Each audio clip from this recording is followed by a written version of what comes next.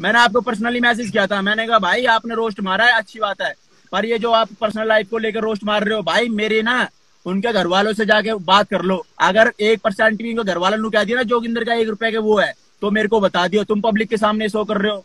सुनो भाई वो तो हमने इंटरनेट से उठाया जो उठाया आप मन से कुछ उठाया है ना। भाई एक बार पर्सनल लाइफ में घुसो। ये जितने भी आप नाम ले रहे हो फिर देख ना खुद ही खुद ही काउंटर कर रहे हो एक दूसरे को पर्सनल लाइफ में मत घुसो फिर क्या गाँव गाँव वाले उठा रखे हैं पंचायत उठा रखे हैं। भाई ये तो ये तो ये तो हमें दीपक कला ये तो दीपक कलाल ने बोला था हमें सुनो। यार यार दीपक कलाल क्या बोलेगा दीपक कलाल मेरे सामने बोलता है तुम्हें लाइव तो तुम देखते ही होगे। वो गंदा आदमी है यार वो गाली दे दे। भाई मैं गाली नहीं बोल सकता।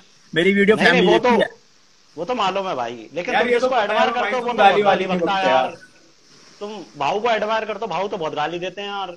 अबे भाव यार भाव अपने घर का होगा जोगिंदर खुद अलग चीज़ है। भाई मैं भाव भाव को तो तारीफ़ कर रहे थे भाई एक लाइव में बैठ के। मैंने क्या बोला था बताओ?